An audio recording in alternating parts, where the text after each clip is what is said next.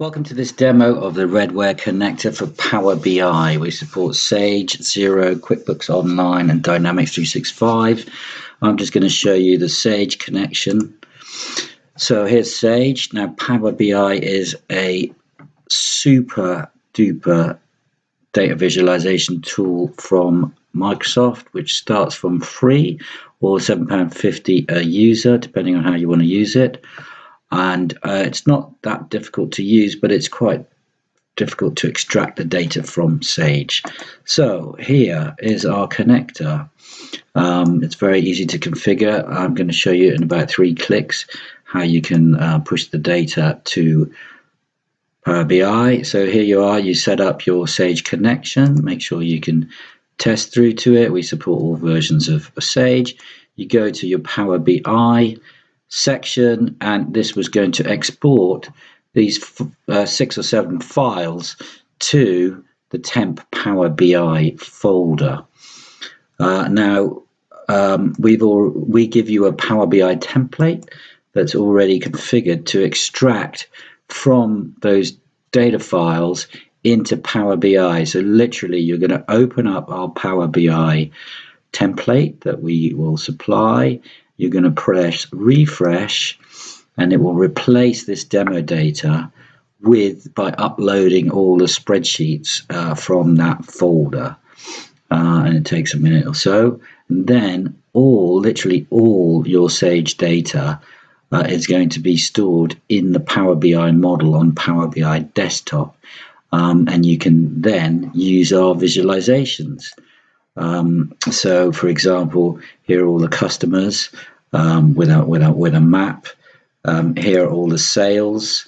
Um, and if so, you could just click. So here are all your invoices. You can just click, and you'll be able to see just the invoices for A1 design, or just the invoices for uh, these um, these uh, companies there. Um, so you're able, therefore, to publish this data um, for people within the organization to see without having to access Sage. And you can just refresh that uh, sort of several times a day automatically um, and publish your data. Uh, similarly, for suppliers and purchases, for products, you can see each product. You can see a little visualization and you can break them down here. This is showing you um, invoices, the, or in fact, invoice line items for each of those products.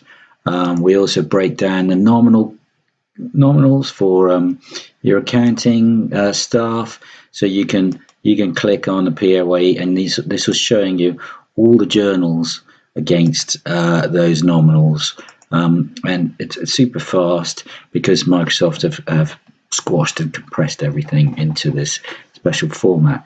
Now, once that's ready, um, once you've done that upload, you can then publish it to Power publish it to Power BI. Um, this is where you're going to have to pay. Uh, it's included in some Office 365 um, subscriptions in your E3. Um, and but basically, if you publish it, you're then able to share that to everybody else that's got a Power BI um, um, account uh, with Microsoft. Again, you see it's not taking too long. Um, but there's uh, Microsoft have a free gateway that will publish this data up to the web um, eight times a day if that's what you want. Um, so I'm just going to log into my Power BI. So anybody now who's uh, you've allowed to share this will be able to see those same those same um, visualizations, but this time on the web. Uh, so you can share that data model if you like uh, very easily. So if you want it for free, uh, you can just use uh, Power BI Desktop. Uh, if you want to publish it, um, just use your Power BI um, licenses. And we've got all that data is has come up into this model. So we don't hide anything. You can go and create your own um, graphics and dashboards and so on using this data.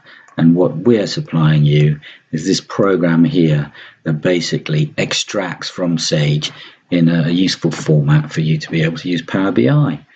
Uh, so it costs £65 a month. Uh, please head over to redware.com and or give us a call and um, we can get you up and running in a few hours. Thank you.